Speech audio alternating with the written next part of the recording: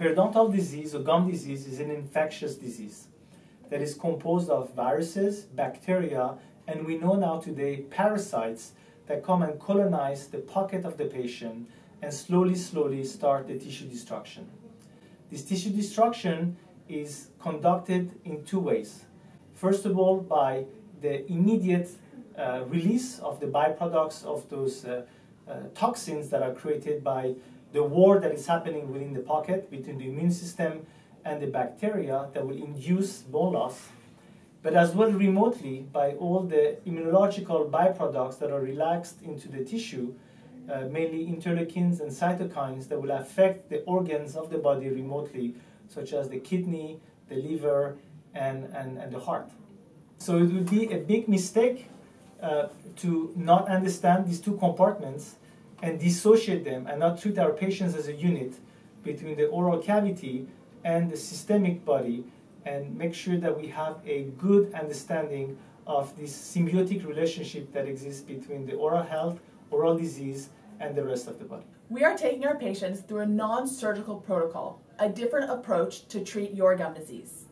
Many of our patients come in with concerns of bleeding gums, ulcerations, fever, even cold-like symptoms, and they're not sure of the cause. So we take this opportunity to educate our patients that gum disease is not only a bacterial concern. There's viruses and parasites that also play a role.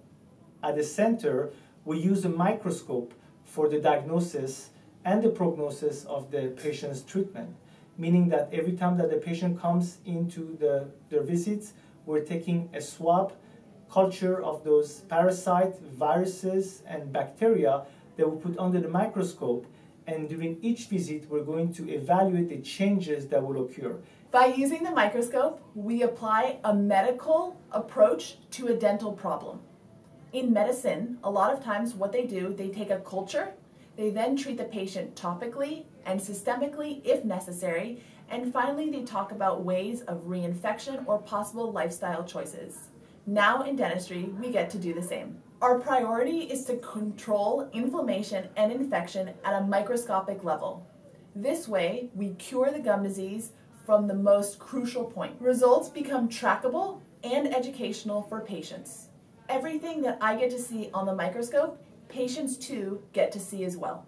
Depending on what we find on the microscope, we'll adjust medication delivery or any home care protocols to improve your overall gum health with a non-surgical therapy, helping our patients to regain responsibility in their home care and help their body to uh, fix uh, the disease and rebuild the bone that they are deprived of.